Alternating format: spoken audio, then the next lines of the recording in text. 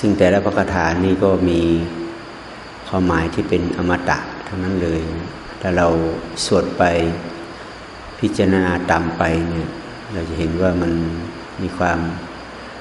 ละเอียดลึกซึ้ง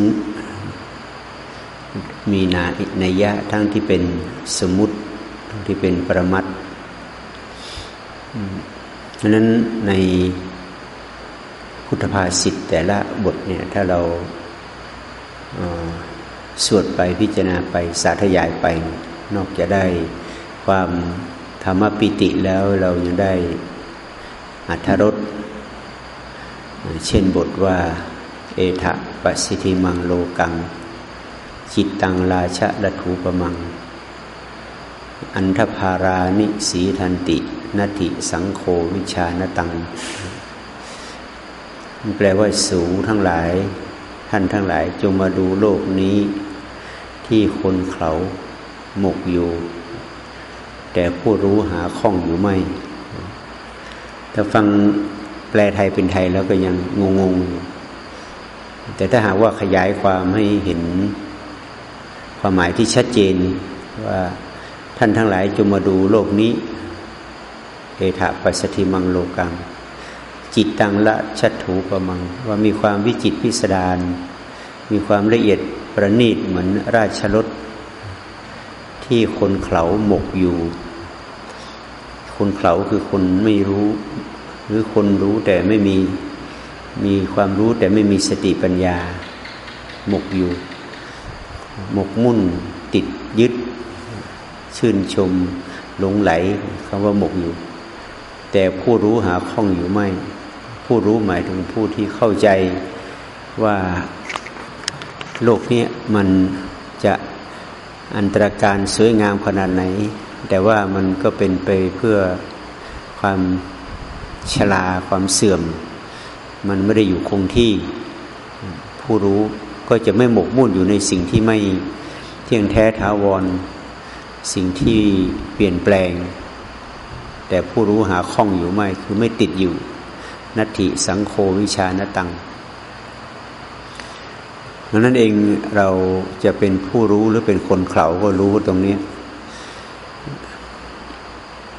ที่ว่าความละเอียดประณีตอันตรการละเอียดประณีตคือทั้งที่เป็นรูป รูปที่เรารักและหลงไหล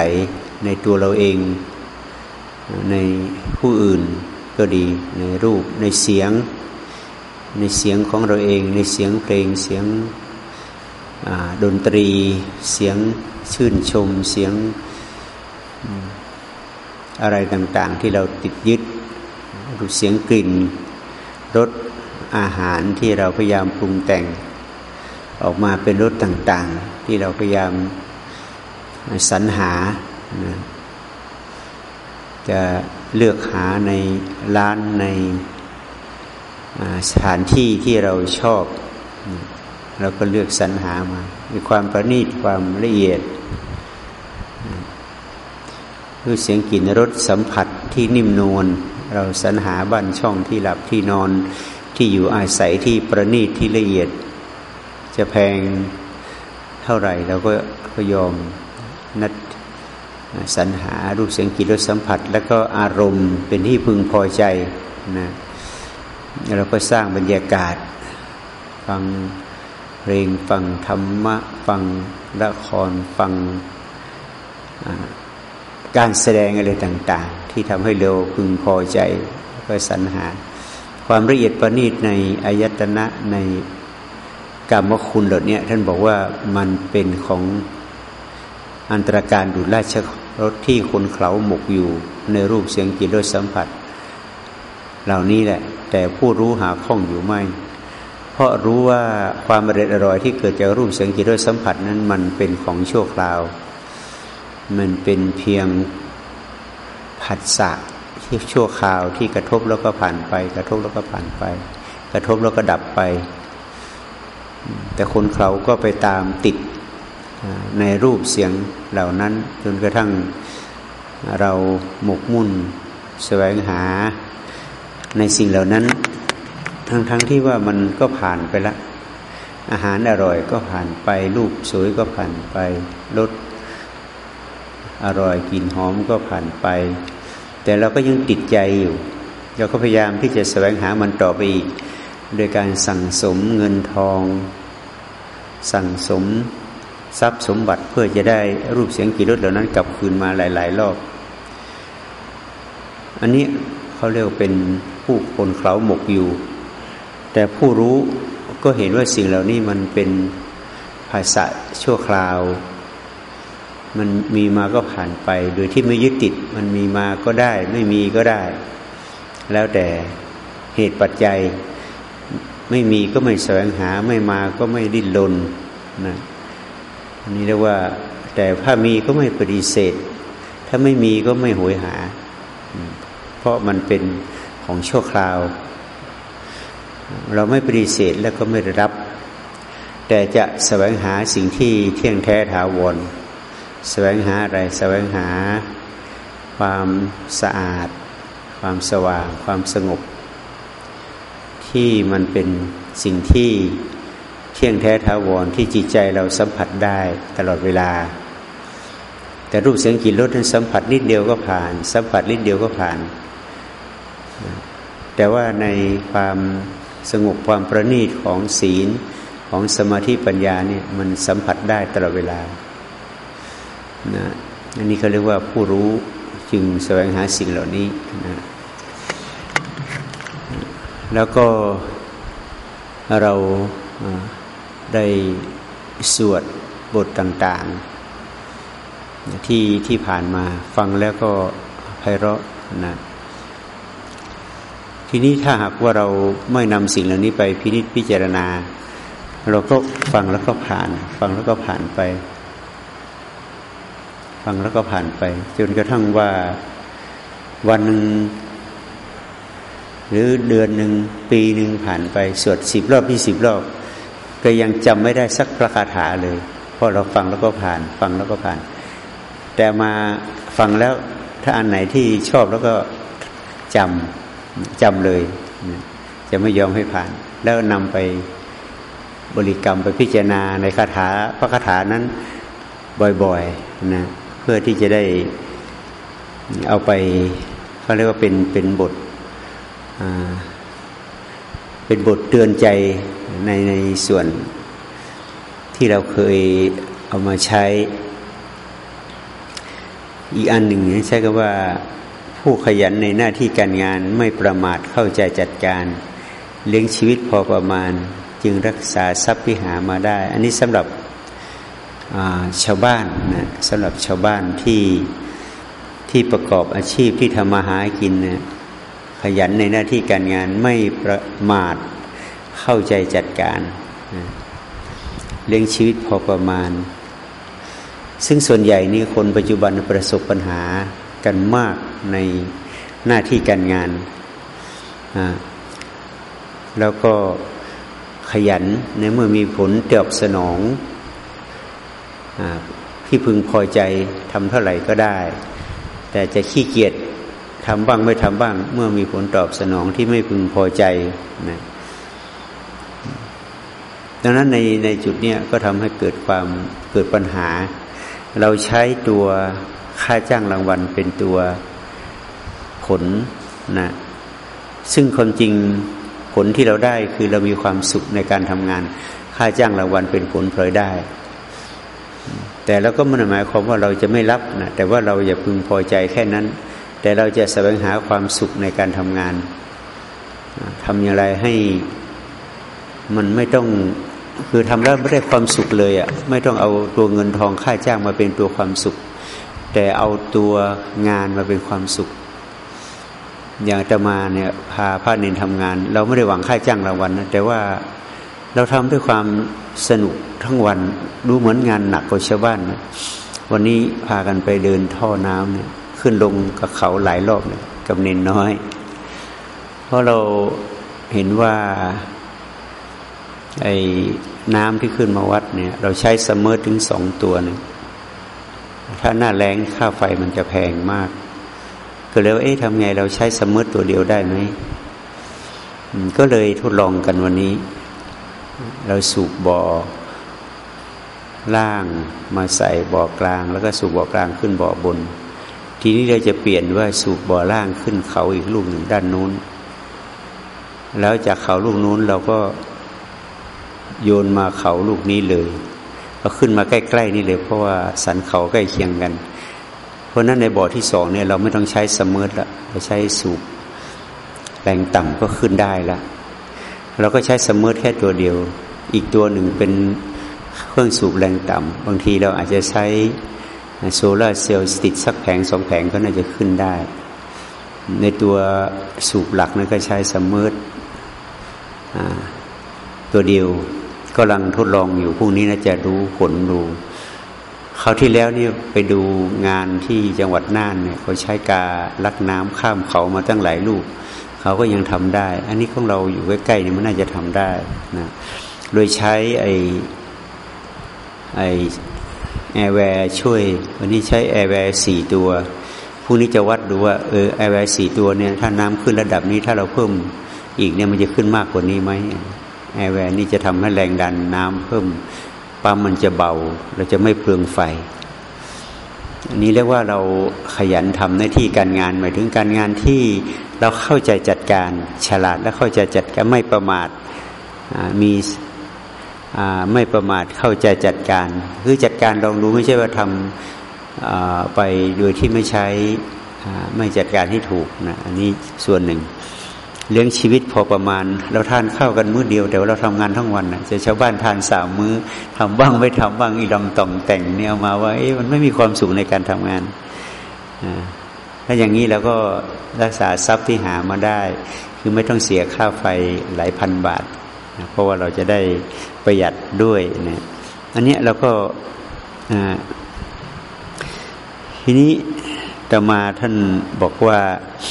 ภิกษุรู้โทษอย่างนี้ว่าตัณหาเป็นแดนเกิดแห่งทุกข์แล้วพึงเป็นผู้ปราศจากตัณหาไม่ถือมั่นมีสติอยู่ทุกอิริยาบถซึ่งช่วงเช้าเนี่ย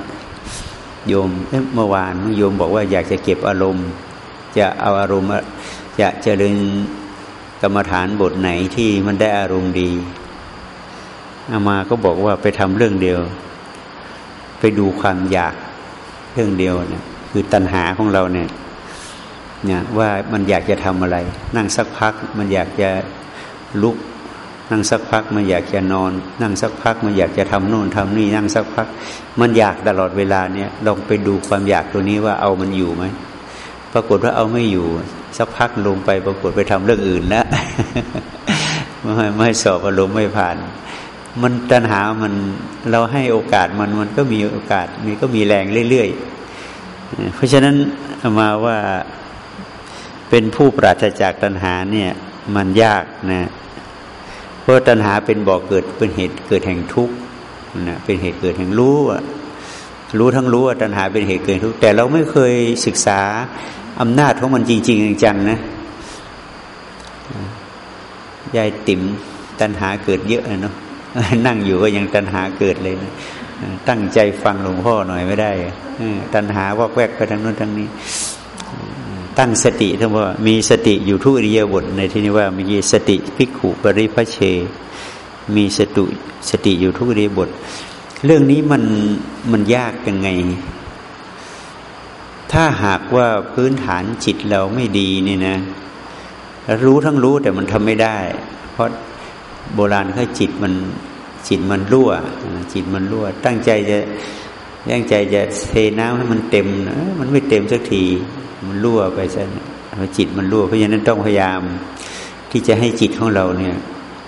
พยายามอุดรอยรั่ว คือมันจะคิดมันอยากจะทำโน่นทำนี่ก็พยายามหยุดมันก่อนนะหยุดมันตั้งใจเอามาบางครั้งเอามาลองลองดูว่าเอ๊ะถ้าเราไม่ทำตามมันเนี่ยมันจะดิ้นตายไหมความอยากตัวเนี้ย นั่งพักก็อยากไปนู่นนั่งพักก็อยากทำนี่ถ้าไม่ไปตามมันมันจะดิ้นตายต่อหน้าต่อตาม มันก็ไม่เป็นแต่มันก็ไม่ดิ้นตาย มันก็อยู่ได้ของมันเพราะฉะนั้นเราก็มาวัดนี่มาฝึกฝนมาปฏิบัตินะไม่ได้มาหาความสุขความสบายอะไรนะนั้นก็เลยว่าวัดเราเป็นที่พักชั่วคราว เรา ใช้วัดเป็นที่ไม่ใช่เป็นที่อยู่ แต่เป็นที่อาศัย เป็นวัดเป็นส่วนกลางของทุกคน เพราะฉะนั้นเที่ยวนี้มาก็เลยเอากุญแจมาใหม่ ให้แต่ละคนถือกุญแจส่วนกลางคนละหนึ่งดอก แล้วเก็บเป็นกุญแจสำรองเอาไว้ต่างหากกุญแจคนละหนึ่งดอกเนี่ยเวลาหายเนี่ยต้อง เอาไปเอากุญแจสำรองไปปั๊มเอาเองนะไม่เราไม่ให้กุญแจสำรองเอาไว้ แล้วก็กุญแจสำรองจะเก็บไว้ที่วัด ไม่ให้มีกุญแจของตัวเอง เพราะถือว่าเราไม่ใช่บ้าน เราเป็นที่อาศัย ถ้าเราไม่อยู่คนอื่นเข้ามาอาศัยต่อได้ ไม่ใช่ว่าอันนี้บ้านของฉันนะเข้าไม่ได้นะ อันนั้นมันกลายเป็นบ้านไป มันไม่ใช่วัด ถ้าวัดนี่ทุกคนสามารถเข้าไปอาศัยได้ แม้เราไม่อยู่ก็ตาม สมมุติว่า เราไม่ได้อยู่เราก็เอากุญแจมาเก็บไว้คนอื่นมา แล้วเอากุญแจนี้เข้าไปนะเพราะนั้นในที่พักของเราถ้าหากเราไม่อยู่มันก็เก็บเมียนเหมือนเราไม่ได้อยู่แหล้วถ้าเรากลับมาเออก็มาใช้เหมือนเดิมนะอันนี้ก็ใช้วัดเป็นที่อาศัยเพื่อมาชำระสาสางตนเองเราอยู่บ้านเนี่ย เรามีอะไรลุงลังไปหมดนะ สักพักหนึ่งเราก็เจ็บป่วยแล้วเพราะมันหนัก แต่เราเมื่ออยู่บ้านมาปลดมาเปลื้องมาปล่อยให้มันเบาสบายท่านั้นเองพอมีชีวิตผ่าน มีความสุขไป มีความสงบไปเพราะอยู่บ้านมันมันไม่สงบ แต่เรามาอยู่วัดเราก็ต้องปลดเปลื้องให้เบาสบายนะแต่ถ้าถ้าหากว่าเราเป็นที่อยู่เราก็จะหนักอีก เพราะมันกิเลสมันจะไม่อยู่ด้วย แต่ถ้าเราเป็นที่อาศัยเนี่ย กิเลสมันกลัวว่าจะอยู่กับมันไม่นาน มันก็ไม่อยู่ด้วยที่อาศัยอันนั้นเองก็เลยว่าเราทำยังไงให้เป็นปลดเรื่องเป็นอิสระ เฉพาะเราเข้มแข็ง เมื่อเราเมื่อเรายังไม่เข้มแข็งเนี่ย เราจะแบกภาระหลายอย่างเอาคนนั้นมาเป็นภาระเอาสิ่งนั้นสีนี้มาเป็นภาระเราก็วุ่นวายไปหมดมันไม่สงบนะ ดังนั้นเองเราก็พยายามประคับประคองตนเอง เรามาอยู่วัดเราก็ไม่ใช่ว่า เราก็มีเจ้าของบ้าน สมมุติอาตมาเป็นเจ้าของบ้านก็ต้อง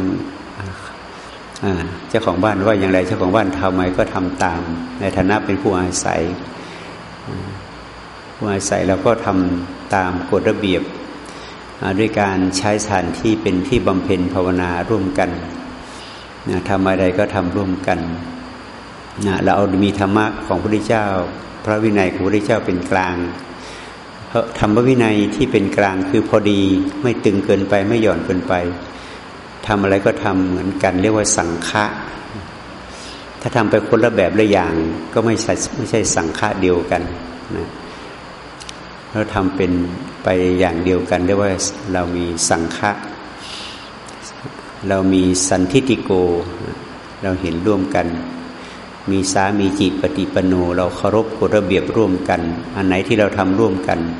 เราก็เคารพในอันนั้น ถ้าทำไปคนละแบบละอย่าง ถือว่าไม่เคารพกัน เราก็จะไม่ถูกต้องนะถึงแม้ว่าจะดีขนาดไหนก็ถือว่าไม่ถูกต้อง เพราะว่ามันไม่เป็นแบบอย่างเดียวกัน อันนี้เราก็ต้องศึกษา เราเป็นผู้ฉลาดในการที่จัดการในเรื่องเหล่านี้เราก็มีเรื่องรู้ความเหมาะสมควร นะว่าอันไหนสมเลยควรพระธรรมวินัยคือปรับให้เกิดความสมควรเหมาะงดงามกับหมู่คณะ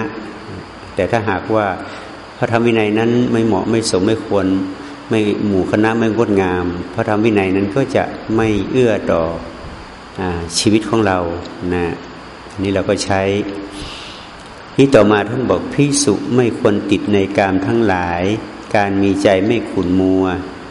ควรเป็นผู้ฉลาดในธรรมทั้งปวง ควรเป็นผู้มีสติอยู่ทุกเมื่อ แล้วจะเห็นว่าในพุทธพจน์ทุกบทเนี่ยท่านเน้นเน้นมิกี้บทว่ามีสติอยู่ในทุกอริยบทสโตพิขุบริพเช บทนี้ใช้คำว่าสโตพิขุบริพเชเหมือนกันเห็นไหม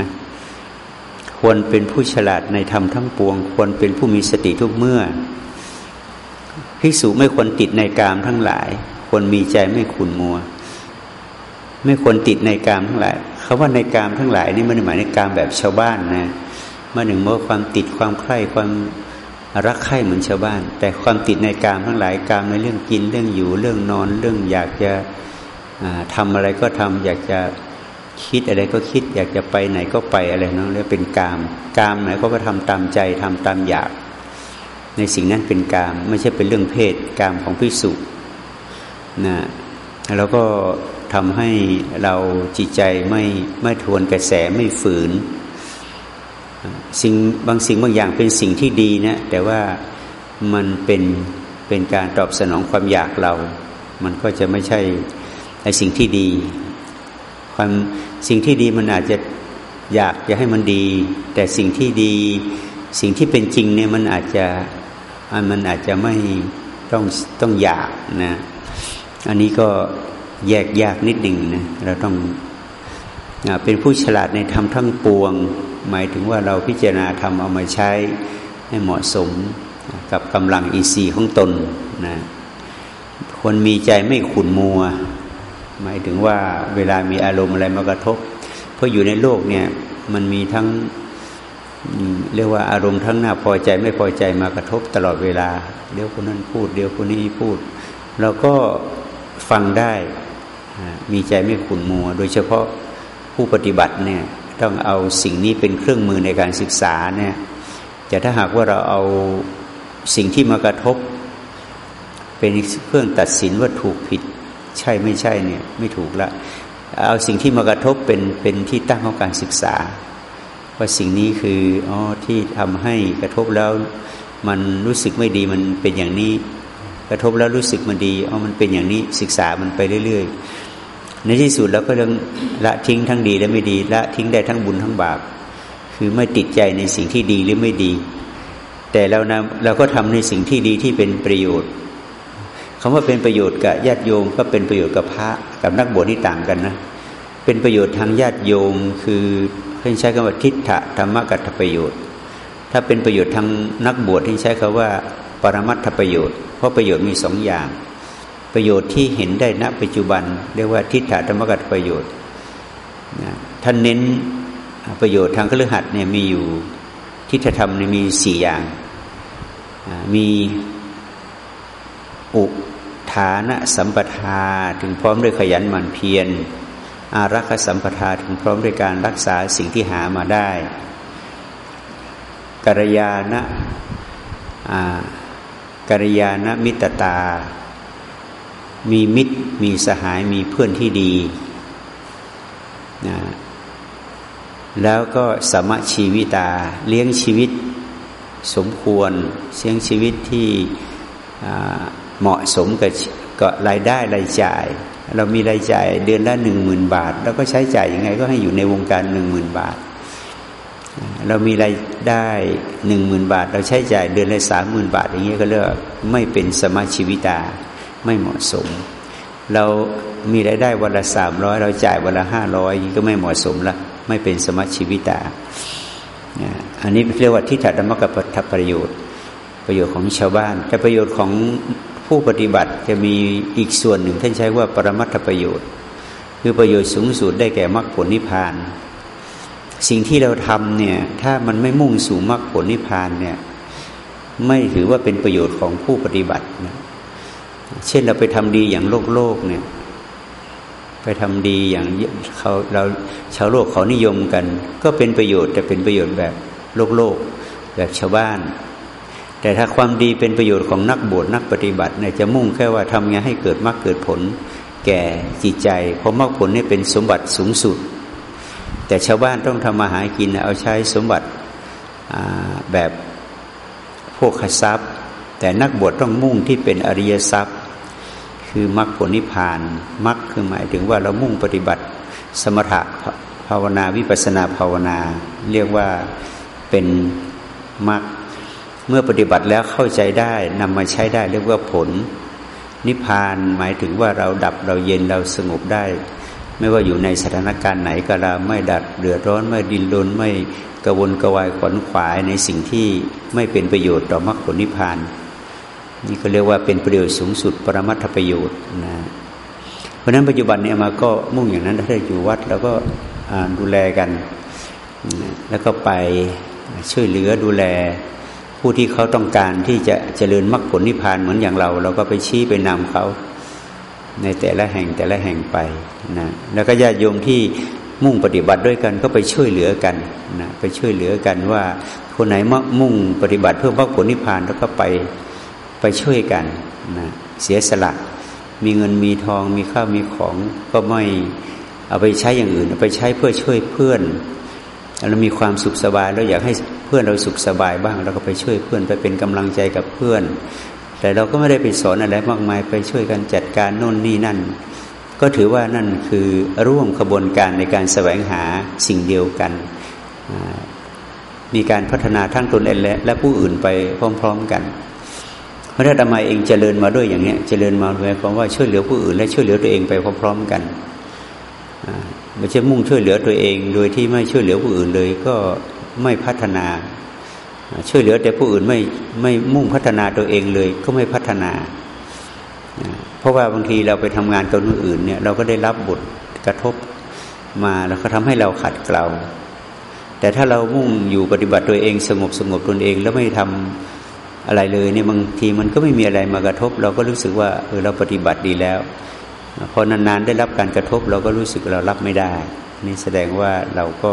ติดความสุขสงบ แต่พอไปกระทบกระแทกในสิ่งที่มาทดสอบเราก็ทนไม่ได้ อันนี้พอเราออกไปทำงานเนี่ยมันก็ต้องเจอสิ่งแล้วนี่เจอคนร้ายบ้างคนดีบ้างคนพูด ถูกหูบ้างไม่ถูกหูคนทำถูกใจบ้างไม่ถูกใจกันคุณทำถูกตาบ้างไม่ถูกตาบ้าง มันมีให้เห็นตลอดเวลา พอเราเคยคุ้นกับสิ่งเหล่านี้ประจำแล้วจิตเราก็เริ่ม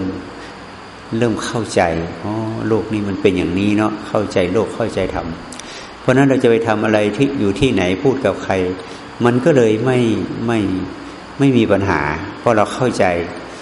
แล้วก็นิ่งได้เฉยได้สบายได้ ก็ยังทำงานได้ปกติไม่มีอะไรเปลี่ยนแปลง ใครจะด่าใครจะว่า ใครจะนินทา ใครจะรับหน้ารับหลัง เราก็ไม่สนใจแหละ ก็สนใจว่าจะทำยังไงให้เขามีความสุข คนอาจจะรักเราบ้างก็ได้ชังเราบ้างก็ได้ไม่ว่ากัน แต่ขอให้ทำในสิ่งที่เราอยากจะให้ทำก็คือมีแสวงหามรรคผลนิพพานด้วยกันก็เท่านั้นก็พอละนะเราอาจจะไม่ต้องเข้าใจเหมือนกันก็ได้ แต่ว่าให้แสวงหาในทางเดียวกันได้ จะเข้าใจไปคนละทาง แต่ว่ามันไปมุ่งไปสู่เป้าหมายเดียวกันนะ ซึ่งเราก็เคารพในความแตกต่าง ไม่ใช่ว่าเราจะให้เป็นอย่างที่เราคิดหมดมันก็ไม่ใช่ แต่คารพในความแตกต่าง เพราะทุกคนก็มีเหตุผลของตัวเอง เพียงแต่ว่าเราพยายามทำความเข้าใจกันได้กัน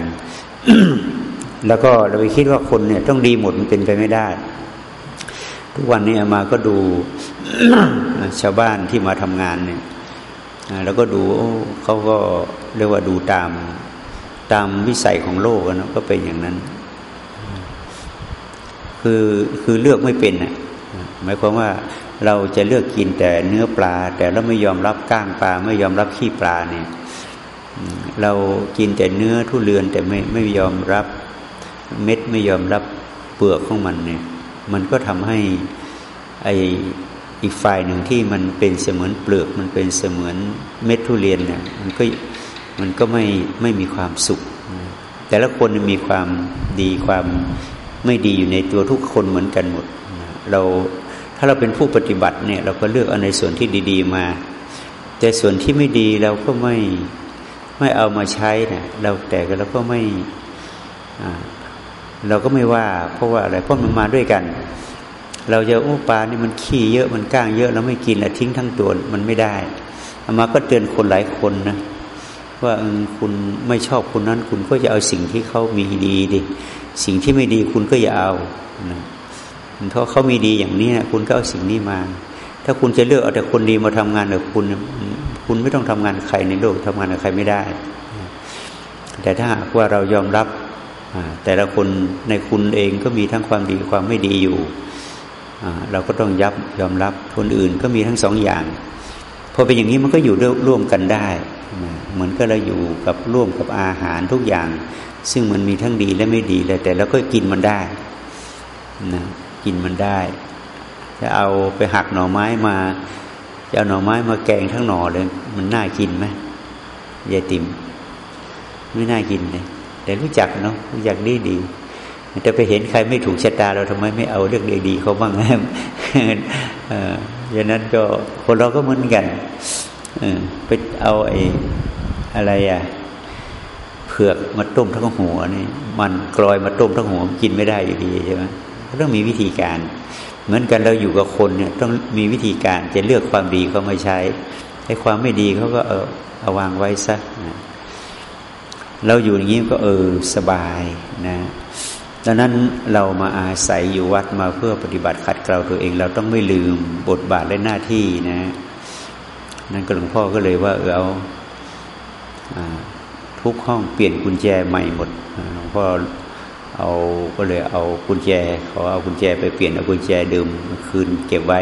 เอากุญแจใหม่ไปใช้ แล้วก็เก็บกุญแจไว้คนละลูก เวลาไม่อยู่ก็เขาเก็บกุญแจนั้นไว้แหละนะแต่ว่าไม่ต้องเอามาไว้ที่นี่ก็ได้